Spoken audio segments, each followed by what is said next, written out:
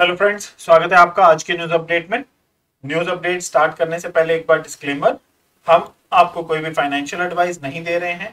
Crypto में investment आपको अपनी एनालिसिस के बाद ही करनी है, क्योंकि प्रॉफिट और लॉस आपका अपना होगा। और ये मार्केट काफ़ी रिस्की है तो इसको अच्छे से समझिए, उसके बाद ही अपनी जो मनी है, वो इसमें इन्वेस्ट करिए। तो चलिए, अब चलते हैं अपने न्यूज़ अपडेट की तरफ़। तो न्यूज़ में सबसे पहली जो न्यूज़ हम कवर कर रहे हैं आज थोड़ी जो न्यूज़ है वो आ, कुछ ज़्यादा नहीं है तो इसलिए हम न्यूज़ के साथ इवेंट्स भी कवर कर रहे हैं एक ही में।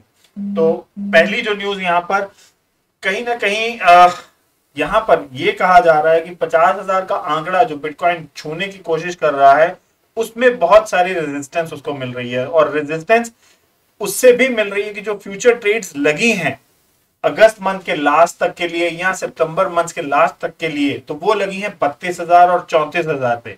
तो इसकी वजह से बिटकॉइन पचास हज़ार का आंकड़ा जल्दी से टच नहीं कर पा रहा है और उसको बहुत रेजिस्टेंस फेस करनी पड़ रही है और वो नीचे भी जा सकता है। तो इस न्यूज़ की माने तो पचास हज़ार का आंकड़ा इजी नहीं है। उनचास हज़ार आठ सौ के करीब गया था, लेकिन वहाँ से जो डंप मिला उस दम की करेक्शन अड़तालीस हज़ार के पास ले आई है। और जब ये मार्केट फिर से उसके ऊपर जाने की कोशिश कर रही थी तो हमें वहाँ पर फिर से बेरिश मोड मिला है और ये मार्केट काफ़ी ऊपर नीचे है, वो हो रही है। तो इस वजह से पचास हज़ार एट प्रेजेंट थोड़ा सा टफ हो रहा है। लेकिन अगर बात करें इंस्टीट्यूशनल जो इन्वेस्टर्स हैं उनकी, वो अभी भी बुलिश ही हैं और वो अभी भी अपनी इन्वेस्टमेंट जो है वो बिटकॉइन में कर रहे हैं। तो अब आने वाले टाइम पर देखना होगा कि कौन जीतता है बुल्स या बेयर्स? अगली न्यूज़ की बात करें, ईरान ने बोला है कि अब वो सितंबर से अपना जो माइनिंग बैन उसने लगा रखा है, उसको हटाने जा रहा है और सिर्फ़ जो ऑथराइज्ड फार्म है, उनको ही अलाउ करेगा माइनिंग के लिए।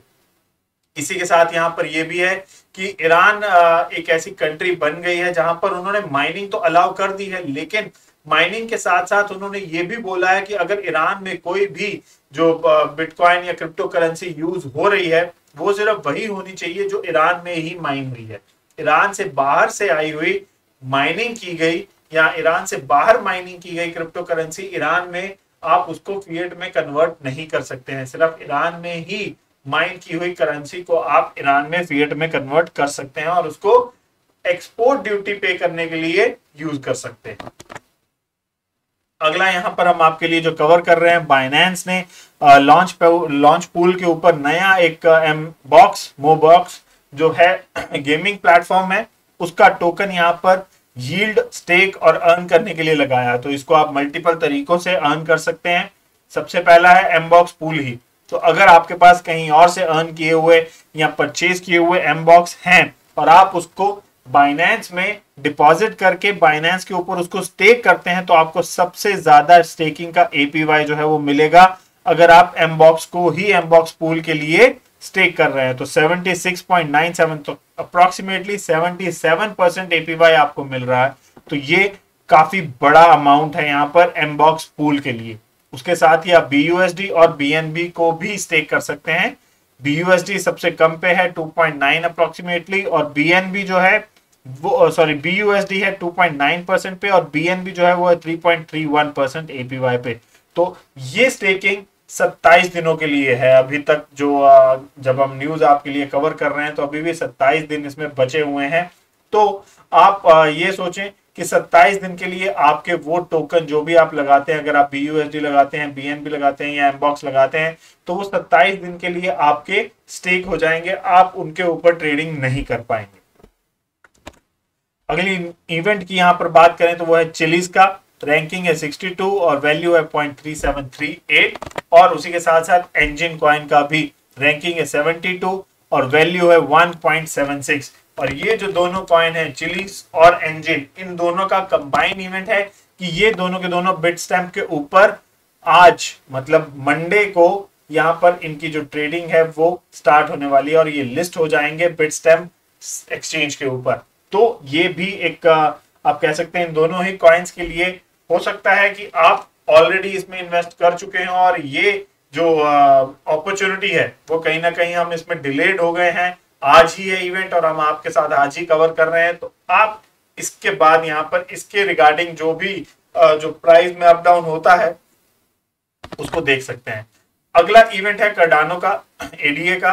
वैल्यू 2.56 रैंकिंग नंबर थ्री पे आ चुका है ये। और इसका जो इवेंट आ रहा है, वो है जापानीज इवेंट यहाँ पर वो जापान की जो एक्सचेंज है बिट पॉइंट उसके ऊपर उसकी लिस्टिंग जो है वो होने जा रही है। अगर बात करें जापान की तो जापान काफ़ी स्ट्रॉन्ग है क्रिप्टो के ऊपर और काफ़ी जो मार्केट है क्रिप्टो की जापान के अंदर, वो बहुत बड़ी है। इसीलिए क्वाइन बेस ने भी यहाँ पर अपनी जो लॉन्चिंग है, वो बहुत ही तरीके के साथ करी है और बहुत ही अच्छे वे में उन्होंने गुड बुक्स में आकर यहाँ पर अपनी एक्सचेंज की जो अनाउंस है, वो करी है एक्सचेंज उन्होंने अपनी लॉन्च करी है यहाँ पर। और जापान में अगर यहाँ पर इस एक्सचेंज के ऊपर लिस्ट हो रहा है तो एडीए को बहुत बेनिफिट मिलने वाला है आने वाले टाइम पर।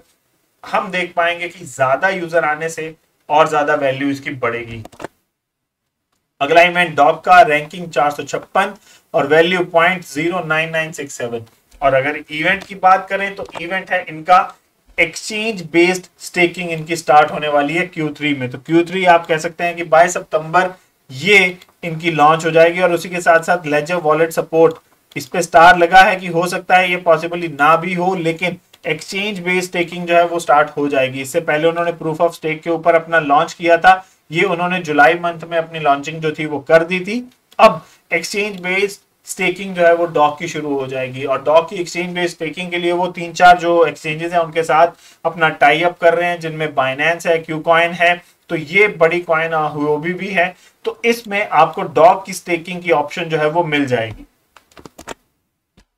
अगला इवेंट है कावा का। अगर रैंकिंग की बात करें 110 है वैल्यू की बात करें तो आठ डॉलर है और इवेंट की बात करें तो इवेंट है इसका कावा का जो स्वैप का टेस्ट नेट जो आने वाला है वो। यहाँ पर ये कंपटीशन करवाने वाले हैं और उन्होंने अनाउंस किया है कि रिकॉर्ड नंबर ऑफ़ यूज़र जो है वो उनके साथ रजिस्टर हो चुके हैं कावा स्वैप के टेस्ट नेट के लिए। और ये 30 अगस्त को स्टार्ट होने वाला है 30 अगस्त को इसकी लॉन्चिंग होगी। और अगर इनाम की बात करें तो इन्होंने काफ़ी बड़ी अमाउंट जो है वो रखी हुई है विनर्स के लिए। तो अगर पहले विनर्स की बात करें तो दस हज़ार यूएसडी टीयर टू के विनर की बात करें तो 2500 यूएसडी उनको मिलेंगे। पहले जो टॉप ये टीयर वन विनर है, वो पाँच हैं टीयर टू विनर है, वो बीस हैं। बोनस प्राइस पूल भी उन्होंने रखा हुआ है टॉप 200 यूज़र्स के लिए। जिनको ईच को सौ डॉलर मिलेंगे और बाकी उन्होंने पे आउट रखे हैं चौदह दिनों में अपना अलग अलग वैल्यूज़ के। और इसमें मेननेट लॉन्च और यहाँ पर डिस्ट्रीब्यूटेड भी होगा जो ये, वो सारे के सारे अगले बिज़नेस डे के ऊपर मिल जाएँगे। दैट मीन्स कि अगर ये 30 अगस्त को हो रहा है तो इकतीस अगस्त को सभी को अपने जो रिवॉर्ड है वो मिल जाएँगे। तो इस इवेंट के चलते हमें देखने को मिल सकता है कावा में बहुत बड़ा जंप तो आप इसको ध्यान में रखते हुए अपनी ट्रेडिंग कर सकते हैं और अपना प्रॉफिट जो है वो बना सकते हैं। तो फ्रेंड्स ये थी हमारी आज की न्यूज़ और इवेंट अपडेट आपके लिए। आपको कैसी लगी हमें ज़रूर बताइएगा और उसी के साथ साथ थम्स अप का आइकन भी प्रेस करिएगा। साथ ही साथ चैनल को अभी तक सब्सक्राइब नहीं किया तो वो भी कर लें और बेल नोटिफिकेशन का आइकन ज़रूर दबाएँ ताकि आपको नोटिफिकेशन टाइमली मिलते रहे। तो मिलेंगे अब आपसे अगले न्यूज़ अपडेट में। तब तक के लिए थैंक यू वेरी मच